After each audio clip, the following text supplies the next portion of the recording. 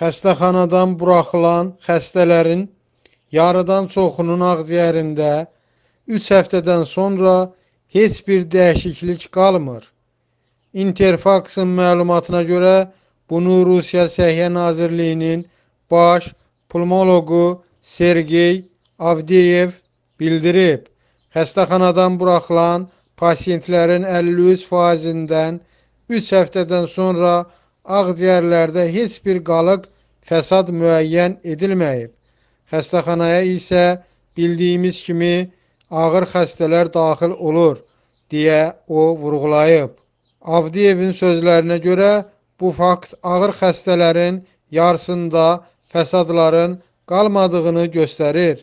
Həkim həmçinin isti havanın infeksiyanın yayılmasının qarşısını alacağına ümidini ifadə edib.